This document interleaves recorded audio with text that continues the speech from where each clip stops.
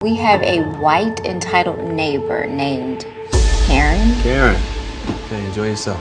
There she is, slaving away in the kitchen.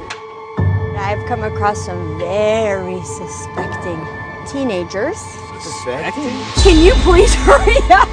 Please, it's, they're very aggressive. Yep. I left my wallet with my ID at home. Leave us alone! We didn't do anything! How the heck did you end up moving to this neighborhood? Next thing you know, we have criminals. You take care of him. We have a white entitled neighbor named